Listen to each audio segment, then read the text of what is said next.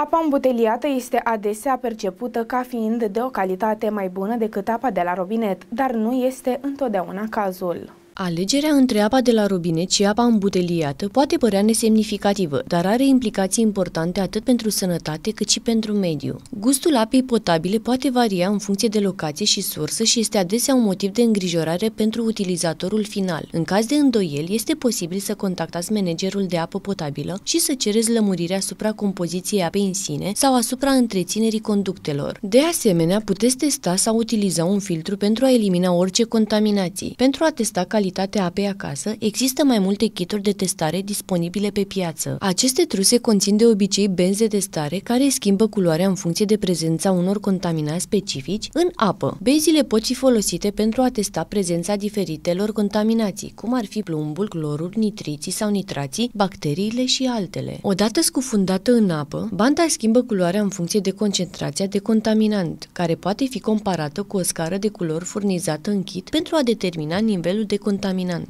Apa îmbuteliată este adesea percepută ca fiind de o calitate mai bună decât apa de la robinet, dar acesta este un mit fals. În timp ce unele ape îmbuteliate provin din surse naturale, altele sunt pur și simplu apă de la robinet filtrată. Apa îmbuteliată este mai scumpă decât apa de la robinet și are un impact mai mare asupra mediului, datorită producției și eliminării sticlelor de plastic. Apa de la robinet, pe de altă parte, reduce cererea de sticle de plastic și limitează cantitatea de deșeuri produse. Cu alte cuvinte, alegerea Alegerea între apa de la robinet și apa îmbuteliată ar trebui să se reducă la considerente de sănătate, mediu și comoditate, relatează mediafax.ro.